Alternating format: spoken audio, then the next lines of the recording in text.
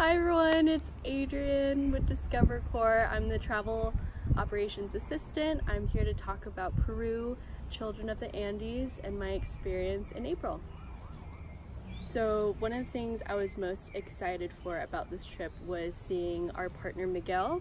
In my decision, I am the bridge between travelers and our partners. So that's always really exciting to me to finally meet them in person instead of, you know, over email.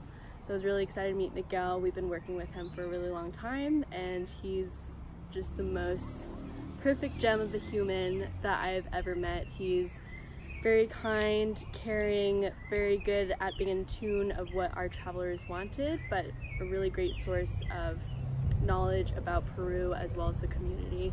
So that was really amazing being with him the entire time, um, especially just knowing his connections with the community and seeing his interactions, he's very well respected, that we were able to do a lot of behind the scenes things and activities that you wouldn't be able to do on your own.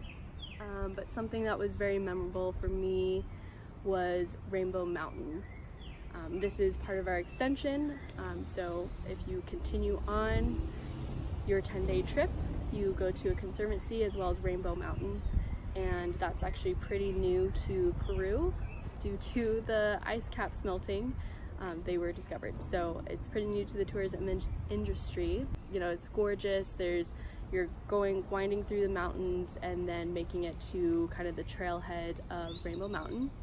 And then you meet up with some locals and they have a couple of horses where we were able to, thank goodness, use because if I walked, so there's the option to walk or take horses to the base of Rainbow Mountain and I could really feel the elevation so I was really happy that we were able to use the horses. And this person leading the horse so you just kind of can relax and really take in everything.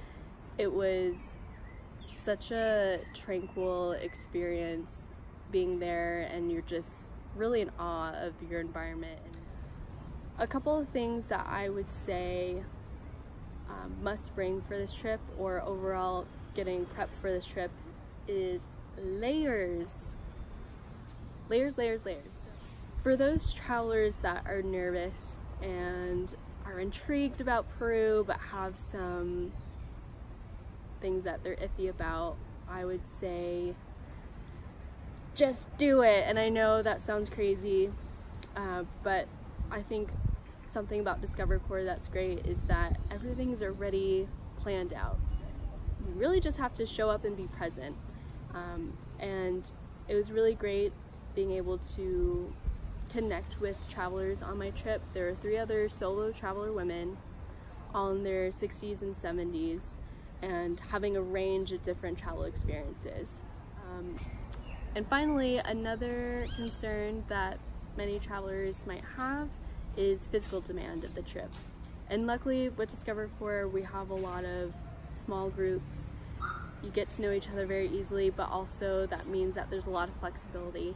So if you need to take your time to do something, go from one place to the other, keeping up with the group, then you can take your time. Also, everything is at your own pace with a small group. So no rush in activities or physical things. You need to sit out of something, but for the most part, activities were never physically demanding maybe just walking from place to place.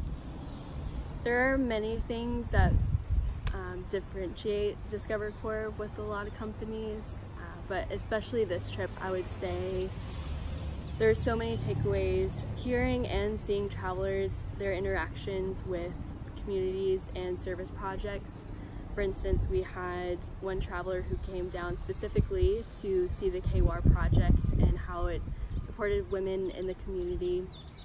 Um, there were other travelers who were very connected to the project at the orphanage in Azulwazi. And we've had travelers who've come back and donated and taken the time to come back with construction, for instance, at the orphanage or buying a van or buying a cow.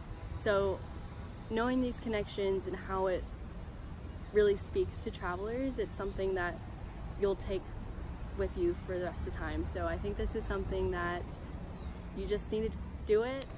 Overall, this trip was something that I will never forget. As an avid traveler, one thing about Discover Corps that I can see being such a bonus for people is really just having everything set for you and then getting there and having experiences that really you have hard time explaining putting words to because they just connect with you at such a deeper level. And knowing that you have a continued family in Peru that was one thing Miguel mentioned to us. You know now that you're here and we've had this experience together you're now family so don't hesitate to come back anytime or reach out. And that was something that was truly felt and it's something that you can never it's priceless